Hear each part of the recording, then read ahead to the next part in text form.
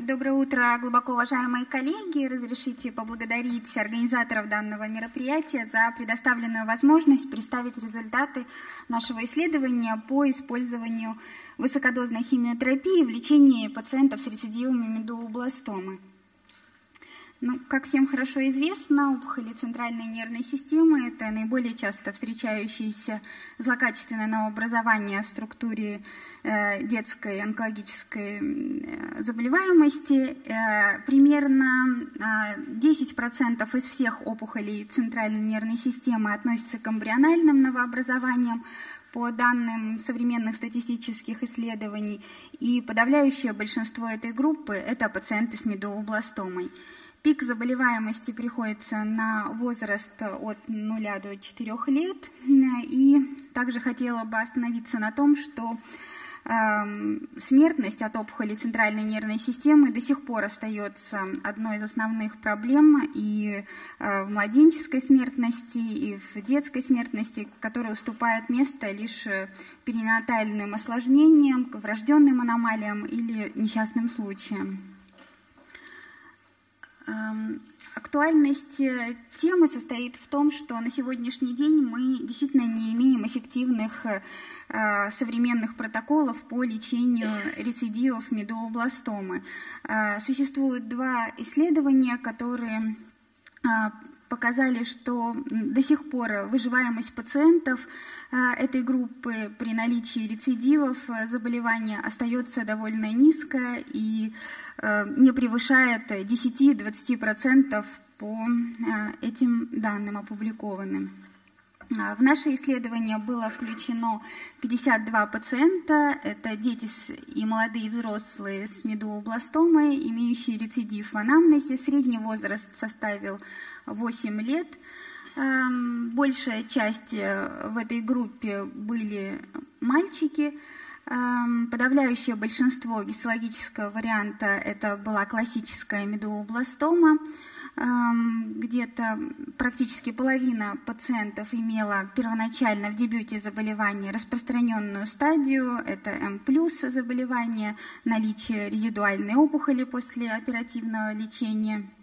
Э, и нужно сказать, что к моменту выполнения высокодозной химиотерапии пациенты получали э, вторую линию химиотерапии, и большая часть больных достигла полного или частичного ответа.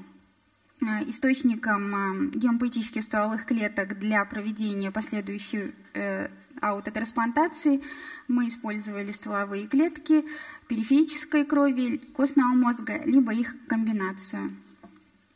Э, всем пациентам с помощью различных методов нейровизуализации был установлен рецидив медулобластомы. Э, после этого все больные получали э, стандартные курсы противорецидивной химиотерапии. Они включали 4 блока либо комбинацию карбоплатина, этапозит с интравентрикулярным введением этаграя либо были пациенты, небольшая группа, которым водился тимозоламид, э, также с интравентрикулярным введением этапозида. А, после второго-третьего курса выполнялся аферез, заготавливались стволовые клетки, и в дальнейшем пациенты уже переходили к этапу высокодозной химиотерапии с эм, аутотрансплантацией. После завершения блока высокодозной химиотерапии пациентам проводилась поддерживающая химиотерапия, локальная лучевая терапия или продолжение интравентрикулярной поддерживающей химиотерапии.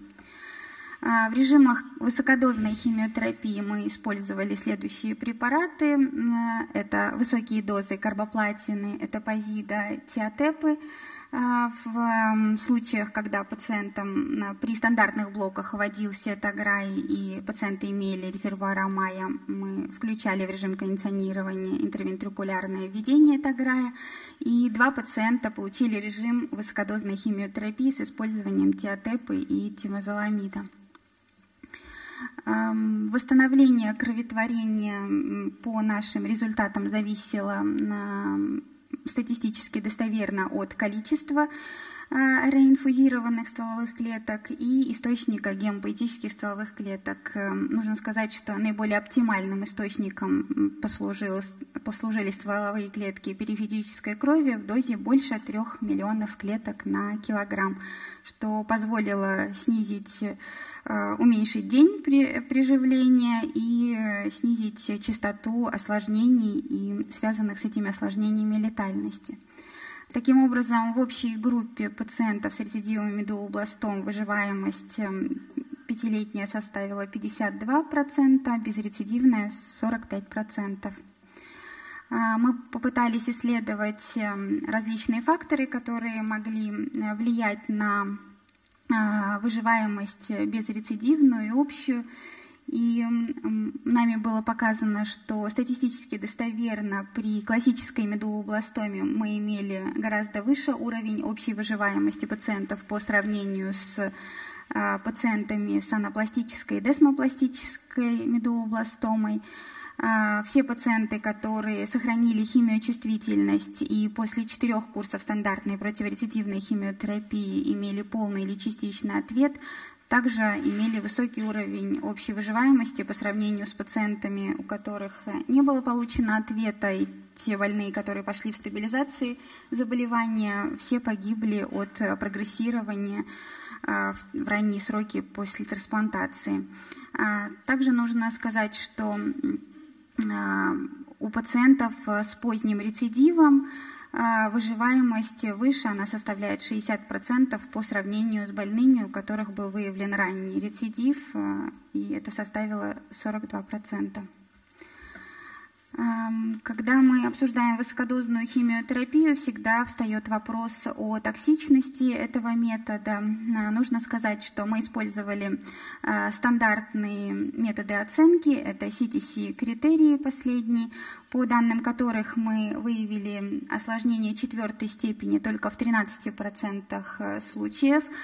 А, по различным органам и системам. Основными э, это осложнениями, которые мы наблюдали, это были тяжелые инфекции, а, токсичность кожная, печеночная и э, тяжелые мукозиты. Общая кумулятивная частота посттрансляционной летальности составила 13%, и основными причинами были Эм, тяжелый сепсис у четырех пациентов. У одного пациента это тяжелый мукозит, и один больной умер от эм, венооклюзионной болезни.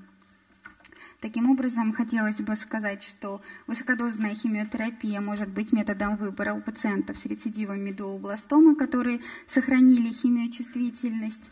Высокодозная химиотерапия не будет эффективна в группе а, селвич-терапии у пациентов, резистентных э, к противорецидивной химиотерапии.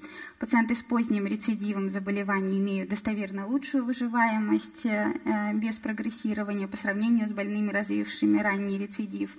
И при классической медулобластоме мы отмечали лучшую общую выживаемость в сравнении с другими подтипами а, медулобластомы.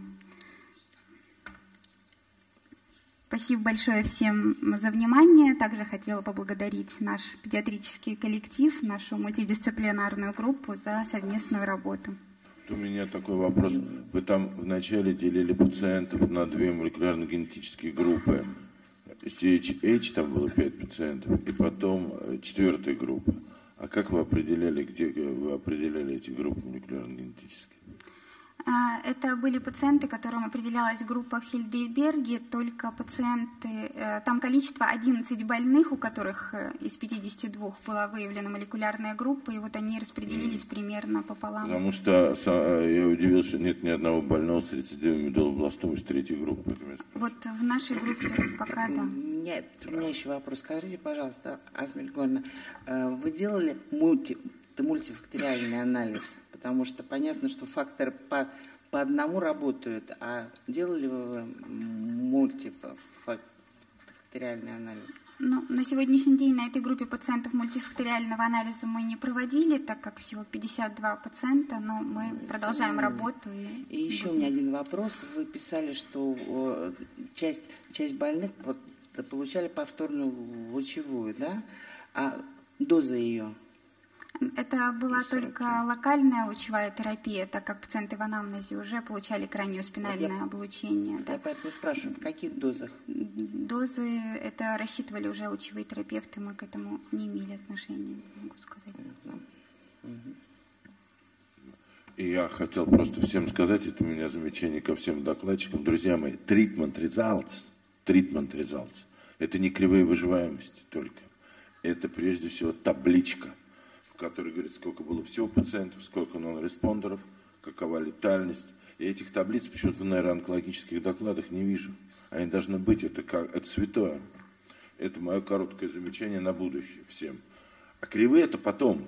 Кривые, знаете, вещь такая. Я хочу увидеть в таблице, как вы включали больных. Сколько было больных, как они распределились по событиям. А потом я посмотрю на кривые. Без табличек кривые не валидно. Если большая